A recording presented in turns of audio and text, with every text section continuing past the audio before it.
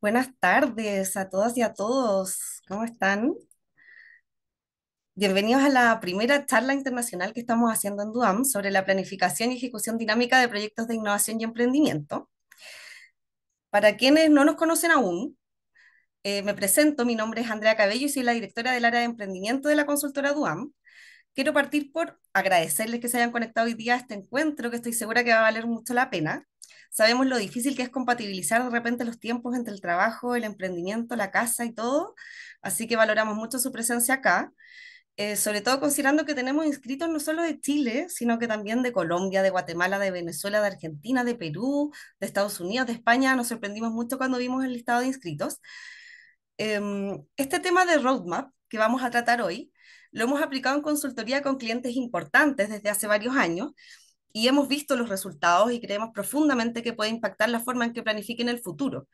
Así que queremos compartirlo hoy con todos ustedes, responder a sus consultas junto a importantes invitados que les vamos a presentar a continuación. Primero les quiero presentar a Ricardo González Nakazawa. Él es consultor en el Institute for Manufacturing de la Universidad de Cambridge. Ricardo, si puedes darnos ahí una manito, dinos hola para que te detecten ahí en la cámara. Hola, ¿qué tal? Bienvenido, muchas gracias por estar acá hoy día. También tenemos a Álvaro Figueredo, socio director de Iskra Innovation y director de transferencia tecnológica de la Universidad del Valle. Buenos días. Álvaro, ¿cómo estás? Hola, bien, bien, gracias. Contento de estar acá. Súper, muchas gracias. Y también vamos a tener hoy día como relator a David Vargas, que es el director ejecutivo de la consultora DUAM. Bienvenido, David. Hola a todas y todos. También muy contento como mis colegas de estar acá hoy día compartiendo con ustedes. Súper. Y antes de pasar a la exposición de estos invitados, quiero darles algunas indicaciones generales. Lo primero es que esto está siendo grabado, ¿ya? Así que desde hoy en la tarde lo van a poder encontrar en nuestro canal de YouTube por si quieren revivirlo o compartirlo y les vamos a dejar el link acá en el chat dentro de unos minutos. Y lo segundo es que tenemos disponible el chat para que por favor nos hagan llegar por ahí durante las presentaciones todas sus preguntas y comentarios y yo voy a estar moderando y generando los espacios para que podamos interactuar y dar respuesta a todas esas inquietudes que queremos escucharlas. ¿Ya? Así que ahora, ¿quién parte? Pueden compartir sus pantallas. Claro. Bien. Eh, buenos días, buenas tardes, dependiendo de dónde se encuentren. Eh, solo preguntar, ¿pueden ver mi pantalla? Sí, muy bien. Muy bien. Entonces, eh, vamos a partir. la idea es una breve charla sobre, sobre el futuro, sobre cómo planear en entornos complejos y dinámicos. Eh, es una charla breve, entonces son algunos chispazos que esperemos que dentro de, sus cerebros eh, se conviertan en fuegos, que puedan eh, ir creciendo conforme van practicando las herramientas o las van utilizando. brevemente, el contenido, cómo estamos estructurando este, esta hora. yo voy a empezar con una muy breve, brevísima introducción a lo que es el roadmap y después mis colegas Álvaro y David van a hablar de algunos ejemplos y casos prácticos, entonces yo voy a dar la parte aburrida de la teoría y ellos se van a entretener con la parte práctica de, de, la hoja de ruta. Eh, esta es una imagen del IFM, de donde surge la metodología de hoja de ruta. Eh, nosotros estamos basados en el Instituto de Manufactura, que es parte del departamento de eh, del Departamento de Ingeniería dentro de la Universidad de Cambridge. Y eh, la idea o el propósito del instituto siempre ha sido el mantener eh, un pie dentro de, la generación de conocimiento, de la parte teórica, eh, de la parte muy académica, pero tener también otro pie dentro de la realidad, trabajando con industrias, con gobiernos y con otras universidades, para no estar aislados. normalmente la crítica que se le hace a las universidades es que son como conventos eh, en la Edad Media eh, que están aislados de toda la realidad y empiezan a generar conocimiento por el gusto de generar conocimiento, lo cual es muy válido. Pero en, el caso del IFM tenemos eh, además la ambición de que ese conocimiento sirva para algo y entonces queremos crear un impacto eh, en la realidad y por eso mantenemos esta cercanía con, con el mundo real, pues. Eh, bien, vamos a empezar con eh, la herramienta, describir un poco lo que es la herramienta y para esto me gusta mucho empezar con esta cita que es de Harari, de un historiador que se hizo famoso hace algunos años porque escribió un libro que se llama Sapiens, después escribió otros dos o tres libros también que se volvieron eh, muy interesantes o bestsellers. Eh, y dice que Sapiens, o sea, nosotros dominamos el mundo porque podemos cooperar de manera flexible y en grandes números. Y parece ser que esto es algo único en la naturaleza. Eh, obviamente, primero tendríamos que ver si es cierto que dominamos algo. Las bacterias tal vez tengan otra opinión, pero eh, parece ser que no hay otro tipo de organismos que puedan cooperar en grandes números y a la vez de manera flexible. Cuando hablamos de grandes números, podemos pensar a lo mejor en hormigas o abejas que pueden cooperar en muy grandes números, pero siempre hacen lo mismo, ¿no? las hormigas siempre hacen hormigueros y no, no tiene esta flexibilidad. Eh, si nosotros vemos eh, hace a lo mejor 100.000 años, podríamos ver que el ser humano vivía de manera muy diferente a como vivimos actualmente. Sin embargo, las hormigas muy probablemente sigan viviendo igual que como vivían hace 100.000 años, ¿no? No tiene esta flexibilidad para hacer cosas diferentes. Y esto en las organizaciones modernas se traduce en la necesidad de, eh, de innovación, ¿no? Es esa capacidad de no siempre seguir haciendo lo mismo que, que hemos hecho hasta la fecha, sino de hacer cosas diferentes. Y aquí es donde la herramienta del roadmap juega un papel principal, porque nos permite al mismo tiempo eh, que estamos trabajando en grandes números, también el eh, darle esa flexibilidad a las organizaciones, ¿no? Y estamos hablando de manera general de organizaciones que pueden ser empresas, pero también pueden ser gobiernos, pueden ser sociedades. Entonces, entendamos grupos sociales o grupos humanos eh, de manera general. Bien, otra metáfora de lo que es el roadmap es eh, la metáfora del puente. Este es un puente que está en Cambridge, obviamente por eso utilizamos esta imagen. Eh, le llaman el puente del matemático, porque dicen que lo diseñó Isaac Newton cuando estuvo en Cambridge, lo cual es absolutamente falso, pero es una buena, buena historia para los turistas. Eh, pero lo ponemos también porque es una metáfora de lo que queremos hacer con, las con la hoja de ruta. La hoja de ruta eh, nos sirve, al igual que un puente, para unir. En el caso del puente estamos uniendo espacios físicos que están separados también por una barrera física. En el caso de, de la hoja de ruta estamos uniendo silos de conocimiento o silos funcionales que normalmente tenemos en nuestras organizaciones. Eh, por ejemplo, tenemos a la gente de marketing que sabe lo que quiere el mercado y tenemos a la gente de producción que está haciendo aquellos satisfactores para el mercado, pues necesitamos que ambos se hablen para poder eh, ser eficaces y eficientes. Y sobre todo en el caso de la innovación, eh, es muy importante esta, esta vinculación entre los diferentes silos funcionales o de conocimiento que existen a nivel organizacional. Pues, ¿Qué es el roadmap entonces? Eh, podríamos decir que el roadmap es un proceso conversacional. Más adelante vamos a estar viendo que trabajamos mucho en talleres. Entonces lo que tratamos es que las personas que tienen estos diferentes conocimientos y estas diferentes funciones dentro de una organización puedan dialogar entre ellos para juntos decidir, pensar, decidir y planear qué hacer. Y la hoja de ruta se utiliza normalmente cuando estamos hablando de sistemas complejos y en horizontes de largo plazo. Entonces hay herramientas de planeación que nos sirven cuando estamos hablando de temas más simples, donde no hay tanta incertidumbre. Por ejemplo, si hablamos de, del Gantt, que es una herramienta típica de administración de proyectos, podríamos decir, bueno, el Gantt, eh, cuando escribimos algo o planeamos algo en un Gantt, sabemos que es muy probable que lo que estamos planeando lo vamos a lograr porque la incertidumbre es baja y además es conocida. Eh, de lo que estamos hablando con el roadmap es algo totalmente diferente. Estamos hablando de entornos mucho más dinámicos, mucho más inciertos, en donde más que una planeación que se va a cumplir eh, paso a paso, estamos tratando de ir explorando un, un, entorno que conocemos solo parcialmente y la otra parte nos las estamos imaginando, estamos suponiendo que eso es lo que está sucediendo, pero no estamos seguros. Entonces, en este tipo de casos, eh, entrarían, por ejemplo, la innovación, estamos hablando de productos nuevos, de servicios nuevos, de nuevos mercados. Estamos hablando también de la estrategia, por ejemplo, eh, el objetivo principal de la estrategia es el crear una ventaja competitiva o una diferenciación sobre la competencia.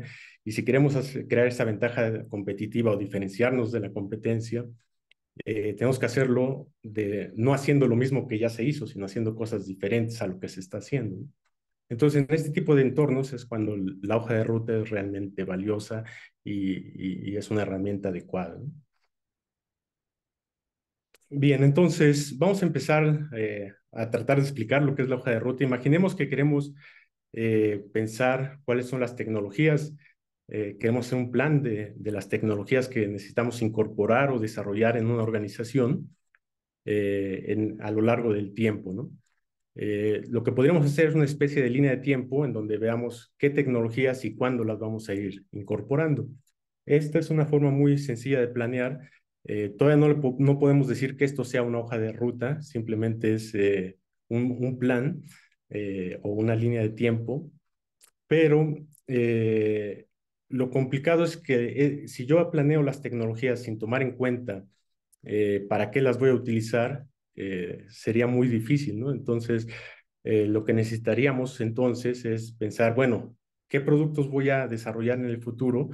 Y a partir de eso, ¿qué tecnologías tengo que desarrollar para habilitar estos productos? Aquí ya estamos hablando de lo que propiamente es un, roadmap, que es esta sincronización de dos líneas de tiempo o de dos planes, el plan del área tecnológica y el plan de, de, desarrollo de nuevos productos. Eh, tienen que estar alineados, tienen que estar sincronizados, y entonces sí ya estamos hablando de una hoja de ruta. Este es el primer tipo de hojas de ruta que existieron, son las hojas de ruta tecnológica. Todavía en la literatura científica, incluso cuando hablen de hojas de ruta que no son, que no son tecnológicas, eh, van a encontrar mucho el nombre de hoja de ruta tecnológica o TRM, Technology Roadmap, porque el primer tipo de hoja de ruta que, existió fue la hoja de ruta tecnológica y por eso hasta el día de hoy se le sigue llamando de manera genérica hojas de ruta tecnológica. Entonces, el valor, obviamente, del roadmap está en esta sincronización de diferentes planes. Podríamos pensar que es un metaplan en donde yo sincronizo diferentes grupos que están haciendo diferentes planes o diferentes cosas. Eh, ahora bien, fuera de la organización también están pasando cosas y si yo quiero ver eh, qué productos voy a desarrollar, también tengo que pensar cómo están cambiando los mercados, y qué es lo que está pasando afuera de la organización. La organización no existe para darse gusto a sí misma, sino que sirve para ser o existe para servir a algo que está afuera, que puede ser mercados o puede ser la sociedad en general, dependiendo de qué tipo de organización sea. Obviamente los productos también tienen que estar alineados a las necesidades del cliente, del consumidor, en el caso de una empresa eh, con fines de lucro, o si estamos hablando de un gobierno, a las necesidades de la sociedad o a las necesidades de, su estado, de su pueblo. Eh, aquí es, ya estamos hablando, por ejemplo, de una hoja de ruta de negocios, ya no es una hoja de ruta de, negocio, de, de tecnología como en el caso anterior, sino que ya estamos viendo toda la estrategia de negocios. Eh, estamos viendo lo que está pasando a nivel de los mercados y estamos alineando el quehacer de la organización hacia esos mercados. Este es el formato de la hoja de ruta moderna, que es el, que más común comúnmente van a encontrar, que consta de tres eh, diferentes capas principales y eh, que una tiene que ver con lo que está pasando afuera, otro con el qué hacer y, y la capa inferior con el cómo vamos a hacerlo. Eh, este es un ejemplo de Philips. Eh, si se dan cuenta, en la parte izquierda están los productos, está un primer roadmap que sería un roadmap tecnológico donde solo hay productos y tecnologías. Eh, aquí no hay mercado, por ejemplo. Pero en la parte de abajo, que está agrandado en la parte derecha, ya toman en cuenta el mercado e incluso lo que está pasando afuera, pero en términos de investigación y desarrollo. ¿no? Qué proyectos de investigación y desarrollo pueden habilitar estas tecnologías, que van a habilitar estos productos, que van a satisfacer tales necesidades de mercado. Bien, entonces, de manera esquemática, podríamos decir que el roadmap cuenta con tres capas, una que nos dice por qué actuar, otra que nos dice qué hacer, y otra que nos dice cómo hacerlo. Esto puede ser para una empresa, o puede ser para un gobierno, o puede ser para una organización no, no lucrativa, etcétera, etcétera. Cualquier, digamos, grupo humano que, esté pensando en futuros complejos y de largo plazo. Y también la hoja de ruta cuenta con tres columnas, una que nos dice a dónde queremos ir, cuál es nuestra visión de largo plazo, otra que nos define dónde estamos actualmente, cuál es nuestra situación actual, y quizá la más importante, que es la columna que nos dice cómo llegar o cómo pasar de la situación actual a la situación deseada. Eh, con este esquema eh, se puede ir configurando una hoja de ruta. Eh, en este caso tenemos las tres capas, el por qué actuar, el qué hacer, el cómo hacerlo, y tenemos a dónde queremos llegar, dónde estamos y cómo llegar. Y a partir de eso podemos configurar una estructura o una arquitectura de una hoja de ruta. En este caso es una hoja de ruta para eh, una empresa convencional. Entonces en la parte superior como drivers o como el por qué tenemos al mercado. Obviamente eh, la empresa está para satisfacer ciertas necesidades de un mercado específico. Tenemos los objetivos de negocio, también obviamente eh, tiene ciertos objetivos en cuanto a rentabilidad, por ejemplo. En la parte intermedia, en el qué hacer, podrían ser productos o servicios, dependiendo del tipo de, negocio que estemos hablando, pueden ser ambos, o sistemas, por ejemplo. Y en la parte inferior, en este caso, es una hoja de ruta para eh, que tiene un enfoque hacia, o es una empresa que tiene una base tecnológica, y por eso hablamos de tecnología y ciencia, pero puede ser cualquier otro tipo de recursos.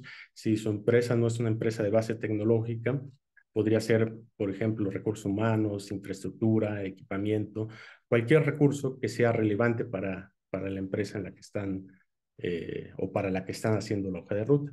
Y lo importante entonces es que eh, se van a dar cuenta que nadie es experto en todo esto. Habrá expertos en mercado, habrá eh, quienes saben qué es lo que el negocio requiere, habrá gente que es especialista en los productos, en los servicios, en los sistemas, etcétera, etcétera.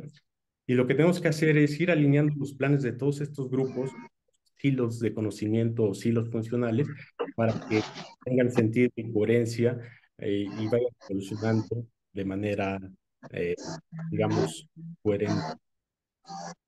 Creo que hay alguien, no sé si puedan eh, sí, Ahí lo acabo de silenciar.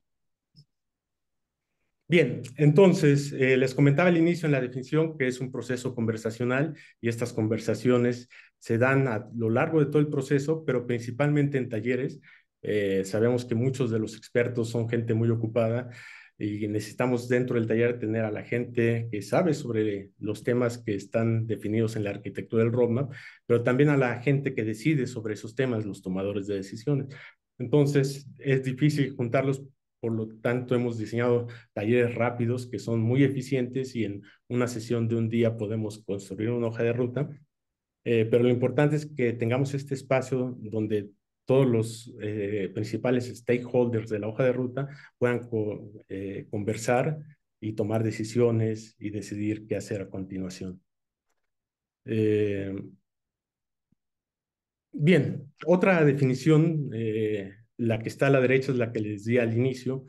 hay otra definición también relativamente académica de, mis colegas Fall y Clive Kerr, que están en, en el IFM, que dice que el roadmap es una cronología visual estructurada de un intento estratégico.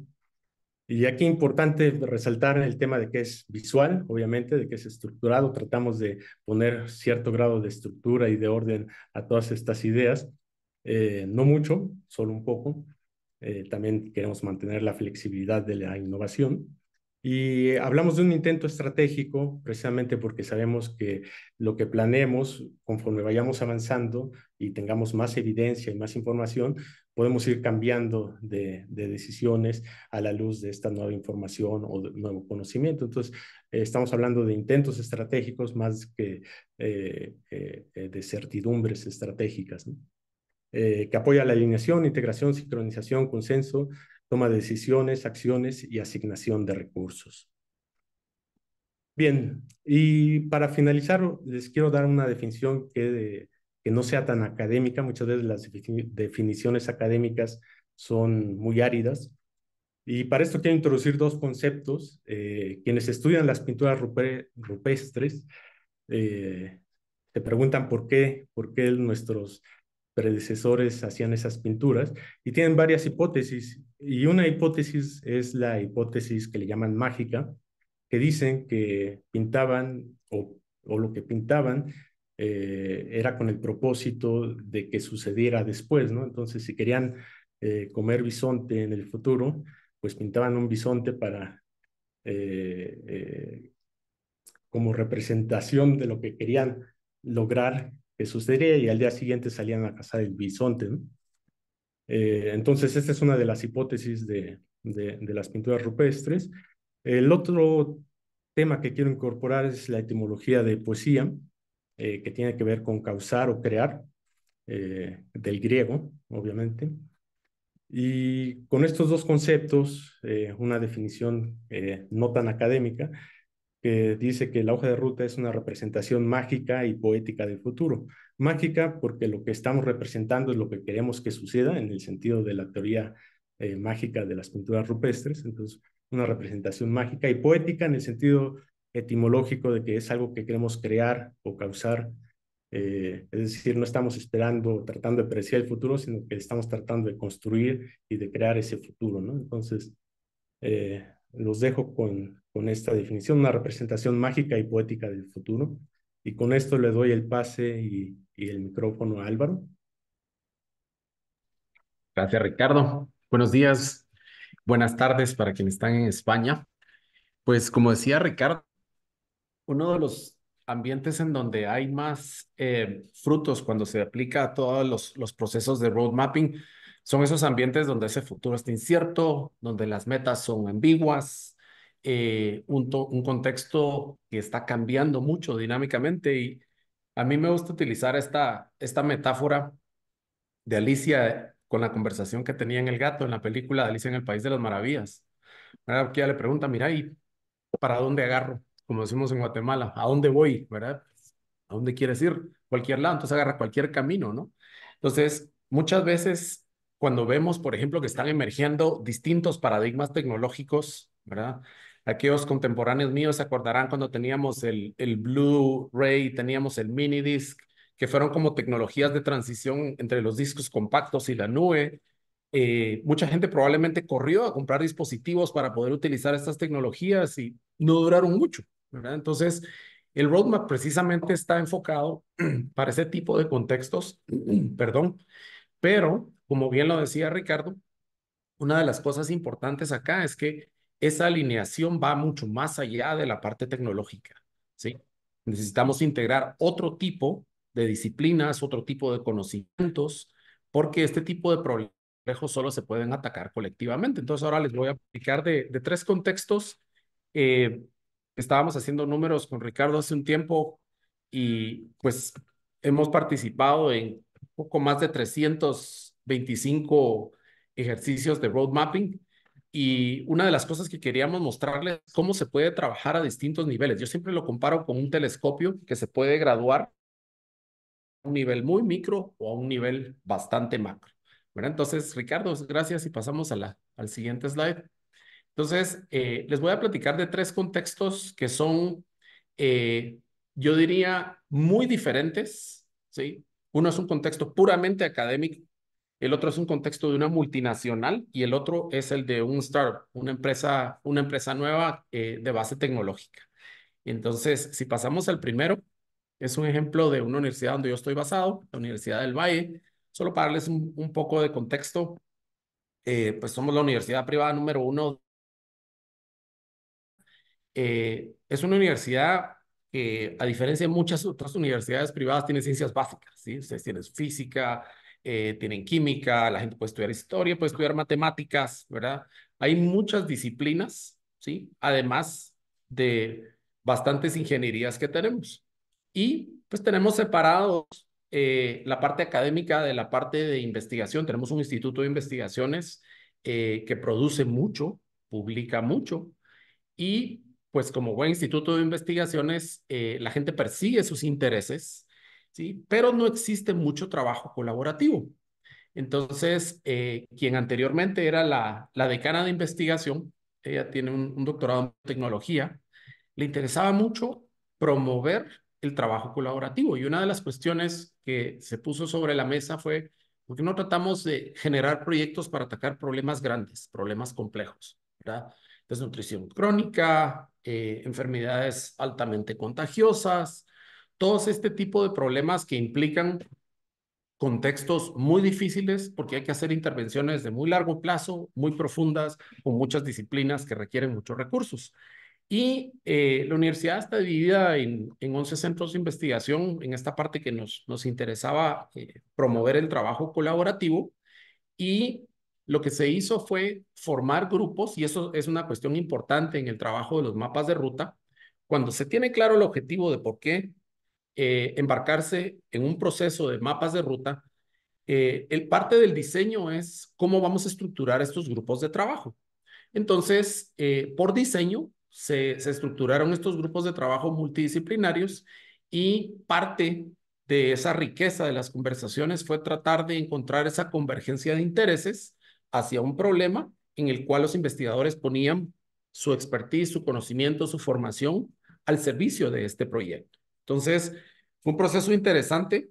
Fueron cuatro sesiones de tres horas y luego de terminar los, los, eh, los mapas de ruta, eh, se hizo un refinamiento de los proyectos porque tuvimos un, un paisaje estratégico, como le llamamos en, en el lenguaje de los mapas de ruta, bastante amplio y se empezaron a refinar proyectos y a priorizarlos por impacto y por tiempo. Y luego de eso, pues contamos al final con un portafolio de más de 30 proyectos colaborativos y formados por seis equipos multidisciplinarios. Algunos equipos eran de seis personas, otros de ocho, ¿sí? Pero lo interesante es que incluso a raíz de este proceso, eh, algunos de estos equipos decidieron que a nivel individual querían perseguir otros ciertos proyectos y ese mapa de ruta les sirvió también para poder planificar ese trabajo. Entonces, el entregable al final fue, por medio de ese consenso, generar proyectos concretos recursos necesarios y lo más importante para atacar lo que Ricardo decía, que no estuviéramos desconectados de la realidad, fue haber identificado esas apuestas estratégicas de, que, de lo que en el contexto centroamericano se requería de atacar, que era lo que nos interesaba resolver. Entonces, si pasamos al, al siguiente, Ricardo. Para que vean un poco la flexibilidad por temas de, de confidencialidad, no, no, no podemos revelar con quién se trabajó esto, eh, lo que les puedo compartir es que es una multinacional líder en el tema de, de biomédicos y algunas otras industrias y tienen filiales en Latinoamérica. Aquí el contexto fue bastante diferente. Esto era educación ejecutiva y era un tema de innovación y parte de lo que se le propuso a esta multinacional fue trabajar Típicamente en temas de innovación se trabaja mucho a nivel de cómo desarrollar un producto y se ven muchas metodologías, ¿verdad? Se ve Stage Gate Process, eh, Design Thinking, eh, metodologías ágiles, se ven muchos marcos de trabajo. Entonces, parte de lo que se les propuso es, ¿por qué no tomamos una visión más estratégica del tema de innovación y tratamos de entender, más allá de los proyectos que ustedes ya tienen identificados, qué es lo que necesitamos para que estos proyectos se puedan ejecutar? Entonces, teníamos eh, un grupo de, de ejecutivos relativamente grande, eran casi 30 personas, y la idea era cómo esos, esos proyectos de innovación que ellos tenían, tenían por un lado que alinearse entre distintas organizaciones de la filial en Latinoamérica, pero una cuestión importante es que hay directrices claras de esta multinacional de qué metas se van a perseguir en el corto, mediano y largo plazo. Entonces, parte del proceso de priorización, en donde se utilizaron varias metodologías eh, como las matrices de correlación, que es una herramienta que que se utiliza para elaborar portafolios de innovación, se exploraron todos los proyectos y nos empezamos a asegurar, de nuevo, con equipos multidisciplinarios, eh, se hicieron seis equipos de cinco personas, que cada uno de los proyectos que tenían estuvieran alineados con estas directrices corporativas. Y al identificar los recursos, también se trabajó en cómo poder asignar responsables de estos recursos y que ese responsable de una vez identificara con qué otras unidades de negocio se podían trabajar para llevar a cabo esto. Esto fue en la, en la capa inferior que mencionaba Ricardo, que es donde hay mucha flexibilidad. Entonces, al final, se contó con estos, eran 13 proyectos que estaban ahí, había uno o dos proyectos que estaban ahí como a medio hornear, no estaban tan bien definidos y habían 12 proyectos que estaban muy concretos, pero lo interesante de nuevo es que en un proceso muy rápido, este sí fue, ya fueron ocho horas, se pudo definir de nuevo cuáles son las directrices corporativas, cuáles son esos proyectos que están ahí flotando en el día a día. Y una de las cosas importantes por las cuales le llamamos innovación estratégica, sí, a este tipo de, de mapa de ruta, es porque esto se sale de los proyectos del día a día. No fuimos a alinear operaciones, no fuimos a resolver problemas del día a día. Eso estaba resuelto, ¿sí? La idea era ¿Cuáles son esos proyectos que son vitales para la corporación que ustedes han detectado que no han podido llevar a cabo y necesitamos justificarlos alineándolos con la estratégica corporativa, identificar los recursos y hacer un plan para poder sacarlos al mercado y poder ejecutarlos? Entonces, ese fue el resultado al final, esa estructura clara de cuando yo con mi superior ¿sí? y los altos ejecutivos de la empresa, yo puedo justificarlo mostrándoles cuáles son esas iniciativas estratégicas a las cuales va a atacar mi proyecto y qué recursos necesito y con quién lo voy a ejecutar. Y se hizo una línea de tiempo en el, en el corto plazo de cuáles eran los siguientes pasos para poder ejecutarlo. Especialmente para gente, para mí como, como yo, que le gusta soñar demasiado, el, el mapa de ruta ayuda mucho porque nos ayuda a aterrizar. Toda esa gente que tiene dominancia cerebral derecha, que sueña y que no aterriza nunca nada, el mapa de ruta es una herramienta perfecta para poder aterrizar poner dueños, poner fechas entregables y arrancar el trabajo. ¿Sí? Les pasamos a la siguiente, Ricardo, por favor. Y este es un emprendimiento en el que estoy involucrado, solo para darles contexto, eh, con dos, dos emprendedores, uno muy técnico y el otro muy emprendedor, eh, no tan técnico. Eh, pues se detectó una necesidad de que no existe cadena de frío adecuada sobre dos ruedas y durante tres años se trabajó en desarrollar un dispositivo, un contenedor isotérmico, una caja fría, ¿sí? que permite mantener y extender la cadena de frío en vehículos de dos ruedas. Eh, la verdad es que no sabíamos lo que se tenía entre manos. Eh, se trabajó tres años y pues conocimos unos abogados de propiedad intelectual en México y se sometió a un modelo de utilidad y nos sorprendimos muchísimo que el modelo de utilidad, ahorita está una aplicación en, en Suiza y en, y en México, eh, pues lo podemos meter prácticamente en cualquiera de los países en donde la organización eh, de la propiedad intelectual a nivel mundial tiene, tiene presencia y tiene oficinas, ¿verdad?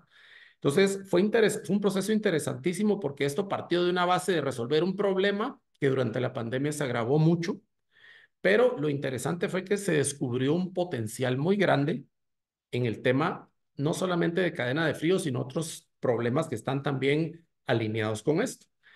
Entonces, uno de los grandes problemas de estas tecnologías que se le llaman tecnologías genéricas, que pueden atacar múltiples nichos, que tienen portafolios muy amplios, es, puedo hacer muchas cosas. Es uno de los mayores atractivos para un inversionista. Mira, esto tiene una aplicación enorme en todas estas industrias, ¿sí? Se pueden transportar órganos, vacunas, ¿sí? Congelados, eh, cualquier tipo de cosa que necesite un bajo volumen y cadena de frío. El gran problema es que hay demasiado también a que apostarle.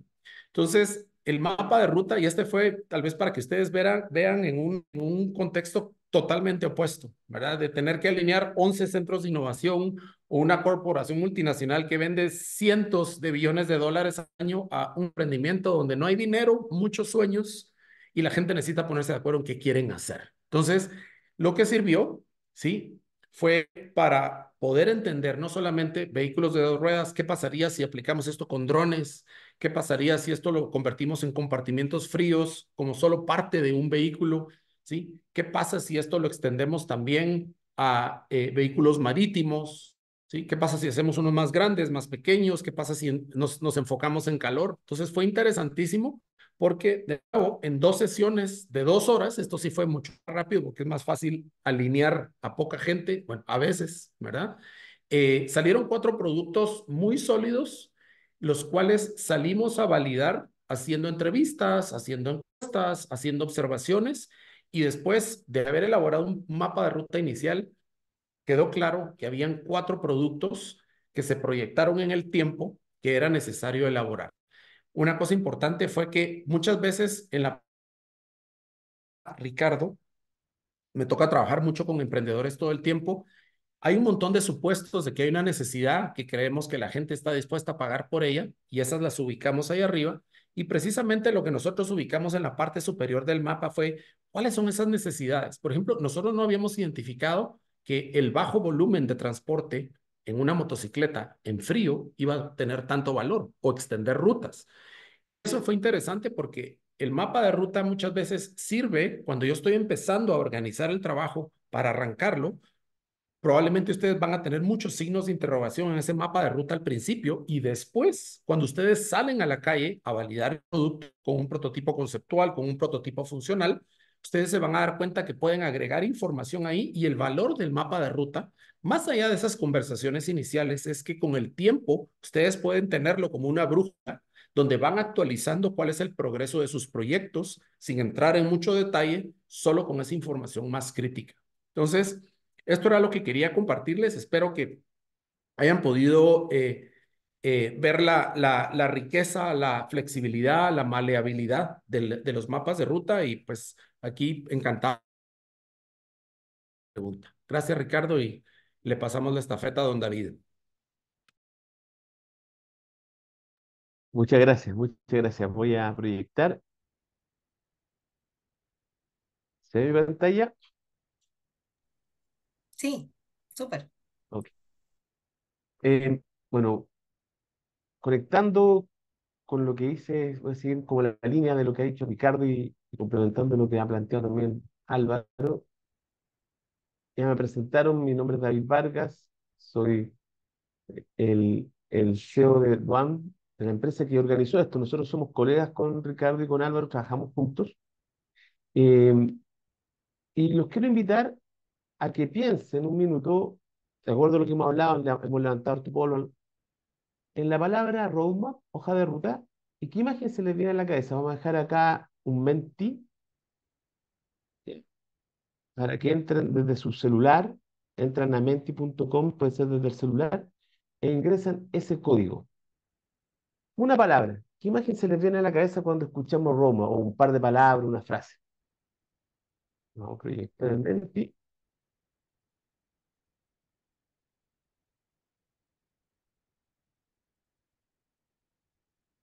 Una prueba, así que me pregunta, buena animala. Ahí Paola Bajar dejó acá por el chat mapa. Buena. Lo invito ahí, pueden ingresar desde el celular o ahí están apareciendo las primeras palabras, ingresan acá a menti.com y el código que tienen que ingresar lo vuelvo a copiar en el chat. Orden, mapa, plan. ¿Qué imagen se les viene? Una ruta.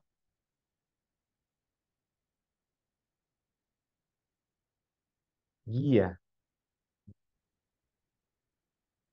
No importa que se repitan palabras, forecast, pronóstico, foresight, visión. Vamos, participando, vamos con seis respuestas, le invito a que estrategia, visión, guía, orden, foresight, proyectos. Vamos a ver un minuto más. Estrategia, Camilo. hay cosas que se repiten y, nos damos cuenta que todos podemos tener una idea. Vamos ya en 10. Muchas gracias por la participación. 12. Se repite con fuerza acá las palabras que están más grandes son las que más se repiten. Orden, estrategia, mapa. Sendero. Orden sigue ahí, orden, estrategia, liderando. Tenemos una imagen más o menos común, hay orden, hay mapa, hay estrategia, receta, plan. Pueden seguir operando, al final vamos a volver a esta imagen. Y básicamente, es muy interesante hacerlo siempre porque siempre que a veces usamos conceptos es reconocer que cada uno tiene un concepto. Y, y respecto al tema de hoja de ruta, además de ser un concepto, hay distintas metodologías y la metodología con la que nosotros estamos trabajando es la de la Universidad de Cambridge. ¿ya? Eso es algo súper importante. Estamos trabajando bajo la metodología de rumbo tecnológico de la Universidad de Cambridge hay otras metodologías, no hay una que sea mejor que otra. A nosotros nos gusta mucho la de Cambridge y por eso la hemos adoptado. Y tiene mucho lo que ustedes han dicho. Tiene este tema del camino que salió ahí, ya del road trip, roadmap, road trip, este tema de un viaje, que también apareció la palabra viaje. Ahora, cuando uno organiza un viaje, sobre todo ahora que estamos en Chile, al menos en, la- en el periodo de vacaciones, uno sueña, oye, vamos a ir a tal parte, y hay que ponerse de acuerdo, si, ya sea en la familia, en la pareja o con los amigos incluso, nos tenemos que poner de acuerdo hacia dónde queremos ir.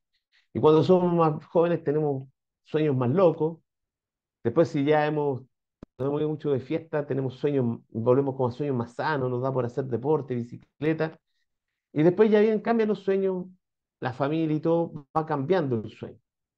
Ahora, ¿qué es lo importante? Incluso hay algunos que después quieren volver a ser jóvenes, entonces se compran la moto y quieren como volver a ser lo que eran antes.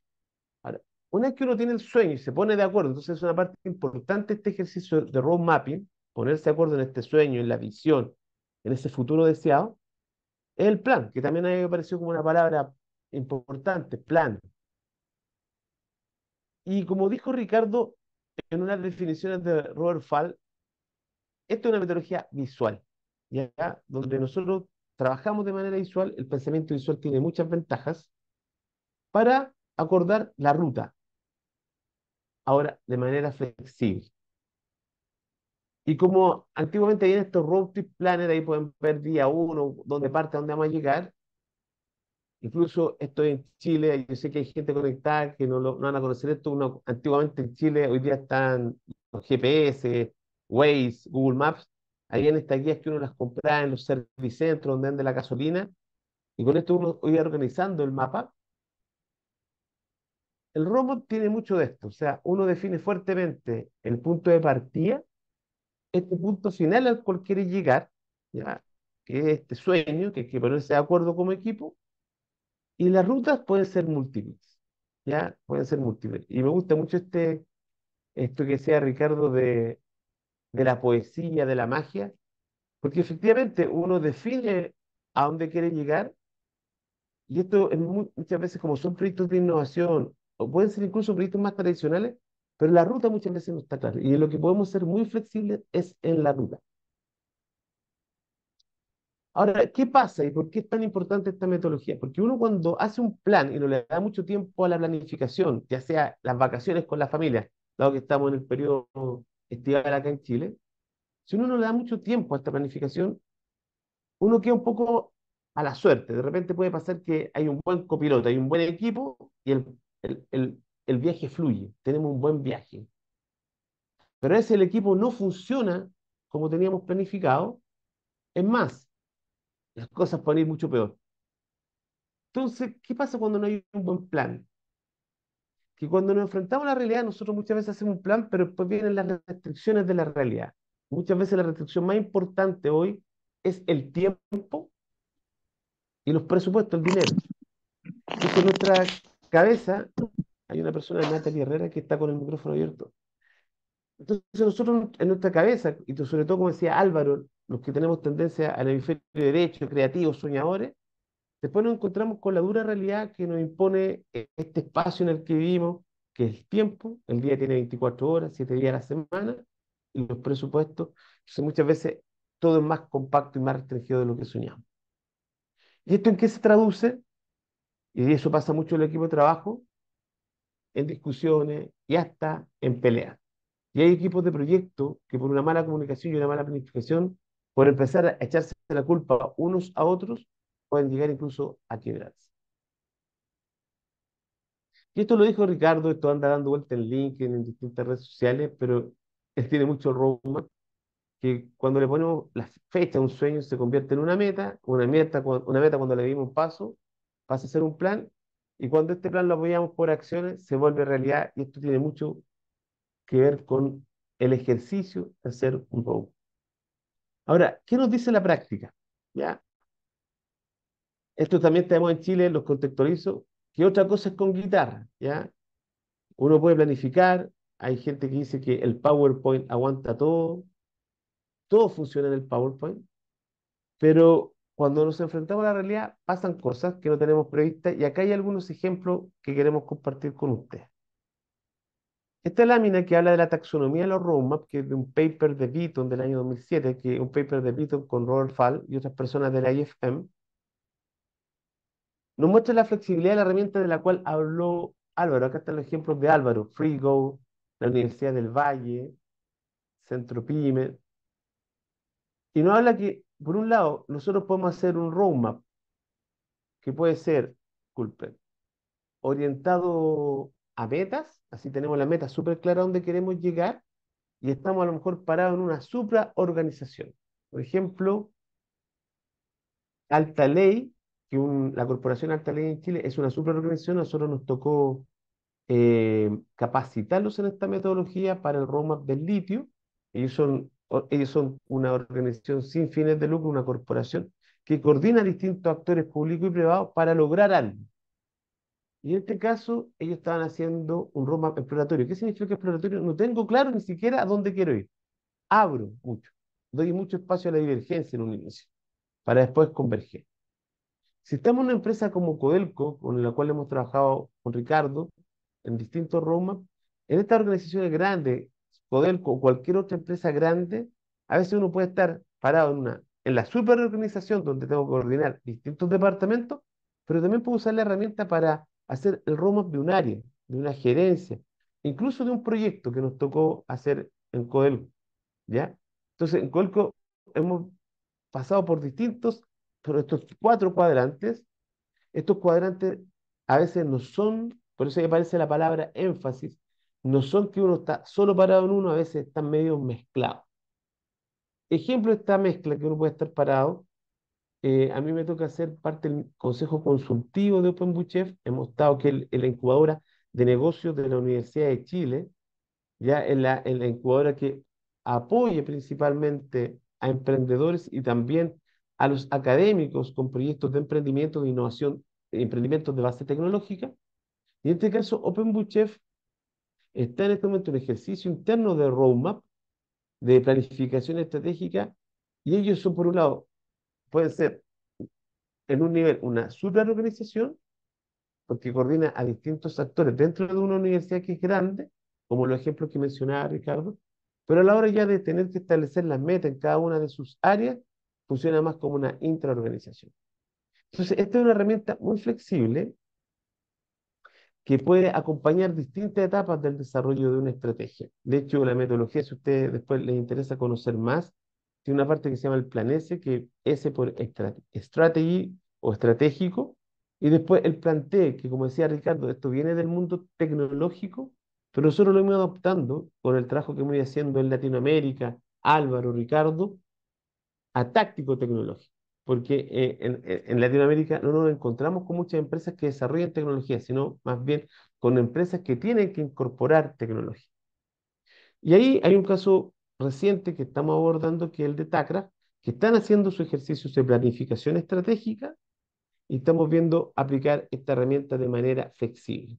Y acá quiero destacar un trabajo, y invito a mis colegas, a Álvaro y a Ricardo, por si quieren complementar, porque también acá hay ejemplos de la NASA que me gustaría que lo comentara Ricardo, que ha trabajado fuertemente con los roadmaps, es comentar que esta herramienta, a diferencia de otras herramientas que se usan en el mundo de la innovación y el emprendimiento, como Business Model Generation, el clásico Canvas, el lienzo de negocio, el más clásico, o Lean Startup, Lean Canvas, que uno baja el lienzo de Internet y sabe más o menos cómo llenarlo, acá la metodología nos entrega una arquitectura, como la que mostraba Ricardo General, pero cada vez nosotros tenemos que desarrollar el lienzo respetando los principios de esta arquitectura y entendiendo muy bien en qué cuadrante estamos parados o en qué mix de los cuadrantes estamos parados.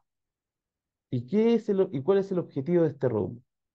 Por lo cual, estos ejercicios de como copiar y pegar que a veces uno hace, que puede funcionar bien con otras metodologías que son mucho más estáticas, Acá no funciona. Acá cada vez hay que entender bien la metodología y poder ir customizando, adaptando el roadmap caso a caso.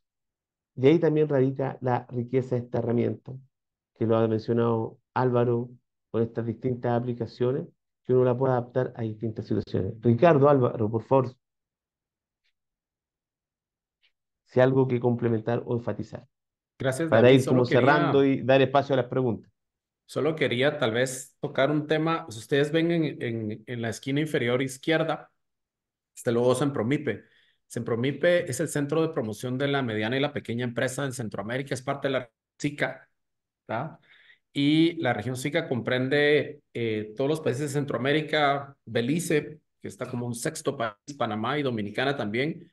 Y en ese contexto, solo para que puedan hacerse una idea de lo macro que fue esto, se planificó hasta el 2050 cómo formar ecosistemas que fomenten la innovación en la pequeña y la mediana empresa. Se hizo primero un diagnóstico y luego se hizo una planificación de mapas de ruta. Entonces, habían ocho mapas de ruta, uno por país, que le servía para la ejecución a cada país. Eh, parte del diagnóstico involucró hacer 102 entrevistas, 25 talleres y al final también las autoridades de Sempromipe, que está conformada su junta directiva por eh, ministros de economía y viceministros de la pequeña y mediana empresa en los países que, que hay los que fungen con esa, esa, esa tarea. Eh, y lo interesante fue, de nuevo, que había un mapa de ruta para toda la región y luego al darle doble clic el mapa de ruta se puede ver el de los países y eso está disponible también en el sitio de ellos. Entonces, eso es una visión más macro todavía, ¿verdad? Así que gracias por eso, David, que a mí se me había también mencionar esa parte. Muchas gracias, Álvaro. Ricardo. Gracias, David. Eh, solo mencionar tal vez que eh, la, la, en, en, relación al caso de la NASA, que la NASA ha estado trabajando con hojas de ruta durante muchos años, este, y tal vez con esto podríamos hacer la invitación para la siguiente plática, donde voy a exponer una de las hojas de ruta eh, de la NASA. Entonces, simplemente eh, no, no quiero comentar mucho, mejor los dejamos para la siguiente, para la siguiente charla. Gracias, Ricardo. Para ir cerrando y dar espacio a las preguntas, eh, como somos latinos, nosotros nos, hemos formado en el IFM de la Universidad de Cambridge, aquí liderados por Ricardo González Nakazawa, nuestro sensei, y lo, lo que queremos es traer esta metodología a Latinoamérica, primero en nuestro lenguaje y adaptando la metodología. Y hasta el momento la primera experiencia en la adaptación de la metodología ha dado muy buenos resultados. Porque como si, si bien esta, esta metodología nace de empresas que desarrollan tecnología, que en Europa hay muchas, por ejemplo, el IFM ha trabajado con Airbus en, Roma de tecnología espacial y otros grandes centros tecnológicos, nuestra realidad latinoamericana es distinta, pero no por eso menos rica. Y como dice Gabriel García Márquez, en una frase de 100 años de soledad, un gran libro, lo esencial es no perder la orientación. Y eso es, es el roadmap. Es que uno fija muy bien la meta, la orientación, pero los caminos son flexibles. Y con esto, como dijo Ricardo, los queremos invitar a, hacer preguntas. Parece que ya hay varias en el chat para que ahí Andrea, quien ha, estado apoyando ahí con el equipo de del área de emprendimiento de Duan, acá está Cassandra también acompañando fuertemente en la organización de este evento, es cómo aplicarían ustedes el roadmap de su organización, qué se les viene, dejarlo invitado para la próxima charla que es el 20 de marzo a las 12 horas de Chile, y hemos estado trabajando en esta adaptación de la metodología, de estas herramientas que vienen del mundo tecnológico más a la realidad latinoamericana. Así que lo invitamos a estar atento a un curso que vamos a lanzar en el segundo semestre, que va a tener el respaldo de la IFM de la Universidad de Cambridge. O sea, una excelente oportunidad porque van a poder estudiar en nuestro lenguaje con ejemplos que son de nuestra realidad latinoamericana con el respaldo de la Universidad de Cambridge. Andrea, te dejo con las preguntas que hay por el chat. ¿Alguien Sí. quiere levantar la mano? No sé si puede hacer algo. Sí, voy a darle la palabra a Ignacio en un momento más, pero primero quiero que Álvaro ya algo comentó en el chat, pero que, que retome el tema de cuál es la mejor manera de incluir a los especialistas en propiedad intelectual en los talleres de road mapping. ¿Quieres comentar algo adicional sobre eso? Sí, miren, así como muchas veces se lo dicen a los tecnólogos, ¿verdad? Que la tecnología es demasiado importante para dejársela a la gente de tecnología nada más. El tema de propiedad intelectual eh, es demasiado importante. Yo básicamente lo que veo, si alguien de ustedes está trabajando con algo que quiera proteger o que necesite ser protegido bajo algún esquema de propiedad intelectual, una de las cosas que yo no había visualizado es que, por un lado, la propiedad intelectual genera un valor económico, ¿verdad? Que en un momento determinado hay que determinarlo en función de los mercados a donde uno le interesa comercializar y donde uno le interesa proteger la producción, ¿verdad? Y una de las cosas importantes que yo no me había dado cuenta era que en realidad al final el valor de la propiedad intelectual es ese valor de la diferenciación ¿sí? En nuestros países probablemente no se valora esto tanto, pero el simple hecho de que yo le diga a alguien, mira, este producto tiene un modelo de utilidad, tiene una patente, tiene algún esquema de protección, tiene un valor enorme, enorme para la estrategia de negocios y para la propuesta de valor que uno tiene para inversionistas, ¿sí? Y también para los clientes, porque les da mucho más, eh, mucho más confianza. Y eso era algo que yo antes no lo veía, a pesar de que tengo ya bastantes años de trabajar en estos temas de propiedad intelectual. Y eh, tal vez mi recomendación es véanlo como una triada. Está el desarrollo tecnológico, ¿sí? De un lado, y está la propiedad intelectual, que tienen que servir para apuntalar la estrategia de negocios si esto es algo en lo que ustedes están involucrados. Y para mí, la estrategia ha sido más de pedirle a alguien que redacte un documento que so sino volverlos parte de la estrategia del negocio, ¿sí? Y cómo puedo hacer para, para negociar de distintas maneras y plantear incluso los modelos de negocio. Entonces, yo sé, tal vez sería el mensaje que les daría. Súper, muchas gracias Álvaro y muchas gracias a Roberto Martínez también por esa pregunta. Acá nos están diciendo Paola Bejar que estaba muy claro y muy fácil de entender. Excelente, dice Edwin. Francisco Morales nos manda saludos desde Colchagua, así que muchas gracias. Em, Susana también dice que le pareció muy interesante el tema. Agradecimientos por, por todos lados. Había una pregunta en relación a la, a la, grabación. Efectivamente, esto está quedando grabado y les voy a dejar acá el enlace a nuestro canal de YouTube para que puedan ver posteriormente la grabación. Y ahora le doy la palabra a Ignacio, que tiene la manito levantada. Activa nomás tu micrófono. Eso. Perfecto. Hola, buenas tardes a todos. Eh, hola David, sí, soy el mismo Nacho Correa. Hola Ignacio, ¿cómo estás? Bien, Si quieres prender la Oye, cámara, Ignacio. Es que la tengo mala, me van a ver borroso. Les Ya, pido disculpas. listo. Oye, eh, no, solo agradecer. Yo, la verdad es que me hizo, me reventó un poco mi cerebro porque eh, uno piensa hasta acá como en Cartagán, ¿cierto? El, el BMC que dijo David y, y que me asocie en hoja de ruta a algo más mágico y poético, me voló la cabeza. Entonces, se lo agradezco desde ya de generarme ese cortocircuito y, y me van a dejar pensando, yo creo, un, un par de días. Quería decir algo que no sé si es un aporte, pero me, me conectó cuando empezaron a hablar de que esto era conversacional, me, me, me hizo clic. Ayer acabo de ver una. Yo ahora estoy en un emprendimiento en salud digital, estoy en OpenBochef, estoy en el programa OpenSenior en particular. Me enteré por ustedes, sí, hay un pequeño comentario entre paréntesis, no, no me llegó por OpenBochef, entonces ahí, ahí faltó algo quizás de comunicacional. Eh, entonces lo que les quería comentar es que ayer vi una charla de la nueva inteligencia artificial de Google y es totalmente desde un enfoque conversacional. Entonces me, me, me hizo clic también esa misma palabra acá. Eh, como yo estoy en salud, quizás me, me, fue más fácil conectarlo, pero me, me deja la tremenda inquietud de cómo aplicarlo tanto en mi proyecto como en el servicio que queremos implementar. Entonces, eh, ahí, ahí después quiero, voy a, voy a escribirle a David quizás para, para ver cómo podemos seguir conversando y, tener un poco más de, información sobre esta metodología que como les digo para mí era nueva, así que se, le agradezco un montón que nos la hayan presentado. Muchas gracias. Muchas gracias Ignacio. De hecho, yo quiero destacar acá con Álvaro siempre decimos a Ricardo, además de su look, le decimos que es nuestro sensei. Y es muy poético porque también Ricardo, son palabras de él, esto es como cuando antiguamente nuestros antepasados se juntaban en torno al fuego, una hoguera, a, en una tribu a planificar, a conversar sobre lo que iban a hacer y se ponían de acuerdo.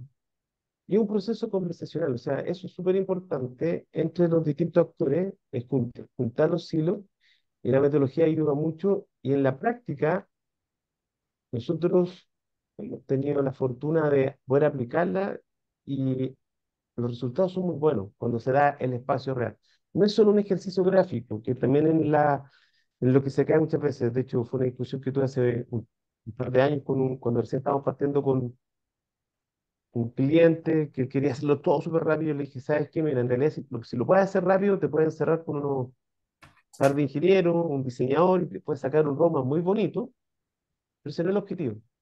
Porque ese Roma que puede ser muy bonito, que incluso los contenidos pueden estar bien, pueden hacer muertos si en una organización tú no tienes los apoyos. Y, y en esta conversación uno va puliendo y va generando también adhesión y apoyo al plan.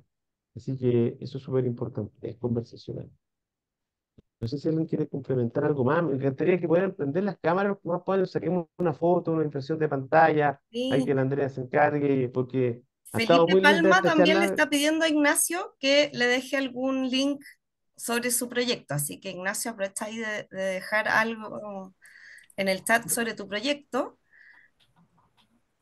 Muchas gracias a los que están prendiendo las cámaras, es muy interesante ver las caras, así que muchas gracias por estar conectado hoy día y, y, y esta es nuestra primera charla en este ejercicio, les insisto, de traer esta metodología que ven- viene del mundo, viene de la Universidad de Cambridge a Latinoamérica, adaptada, con el respaldo de la Universidad de Cambridge, acá está Ricardo presente, y estar atento a lo que viene, eso.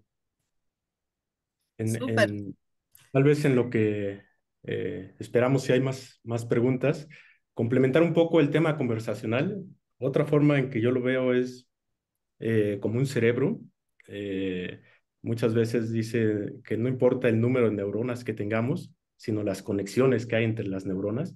Y eso es lo que tratamos de hacer en las organizaciones, conectar a, a las personas. Eh, no importa que tengamos a los mejores especialistas si están aislados eh, o a la gente más, más lista y más inteligente si están aisladas, eh, tendrán poco impacto, ¿no? Lo importante es cómo creamos esta red de conexiones entre los diferentes actores de, la organización e incluso fuera de la organización, ¿no? Con expertos externos. Entonces, otra forma que me gusta verlo, más como las sinapsis entre neuronas que, que las neuronas en sí. Ricardo Manolo Osorio está pidiendo en el chat si puedes desarrollar un poco más lo del aspecto poético. Bueno, eh, realmente no, no sé si haya mucho que, más que agregar. Eh, a mí, a mí eh, lo, lo, lo, lo, relaciono mucho, sobre todo con la parte etimológica, ¿no?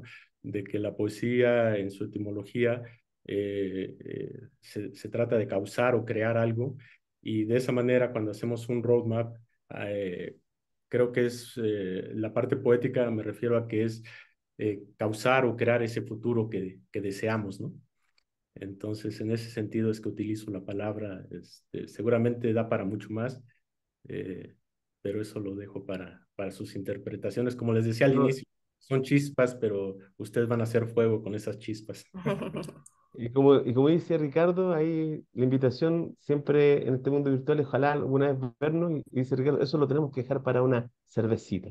Así que, oye, muchas gracias por encender las cámaras, ojalá puedan encender más, tú nos dices, Andrea, una fotito Sí, y ya saqué un par de fotitos. Por mientras, David, no sé si viste la pregunta de Roberto Martínez que pregunta si alguno de los organizadores es parte del consorcio STEAM. Entiendo que está relacionado con Cambridge, dice, Consorcio de Estrategia, Gestión, Tecnología e Innovación. Sí, efectivamente. eh, les platico brevemente, el consorcio STEAM es eh, una forma, al, al inicio les comentaba que nos gusta tener cercanía con el mundo real en, dentro del instituto, entonces el consorcio STEAM es una especie de, eh, de club en donde diferentes empresas y organizaciones nos reunimos de manera eh, eh, cotidiana, digamos cuatro veces al año más o menos, eh, para hablar sobre temas relacionados con, con la gestión tecnológica y eh, es una especie de forma de también identificar proyectos de colaboración entre los investigadores y eh, la industria. Entonces, en estas reuniones, eh, los investigadores dicen qué están haciendo, la industria dice qué está necesitando y tratamos de buscar sin, eh, dónde están estos match entre eh, lo que se está creando y lo que se está requiriendo para poder hacer colaboración efectiva. Si quieren y si les interesa formar parte del STEAM a sus organizaciones, me podrían mandar un correo y, y yo puedo eh, eh, contactarlos este, para darles más información y en su caso este, eh, eh, invitarlos y, y, que puedan convertirse en miembros de, del consorcio. Perfecto. Bueno, y antes de cerrar, queremos solamente agradecer a todos los relatores que nos acompañaron hoy día y que compartieron su experiencia y conocimientos. También agradecemos la convocatoria, que tuvimos a más de 60 personas conectadas. Y esperamos haber sido una fuente de inspiración para sus respectivos proyectos. Y los dejamos súper invitados a seguirnos también en nuestras redes sociales, donde nos pueden encontrar como DUAM, para enterarse de todas las actividades que estamos desarrollando y los proyectos que estamos haciendo. Y gracias nuevamente a todos y ya nos veremos en una próxima oportunidad el 20 de marzo como nos invitó David. Así que buenas tardes. Nos vemos. feliz día. Muchas gracias a Adiós. todos a Chao. todas. Chao, chao.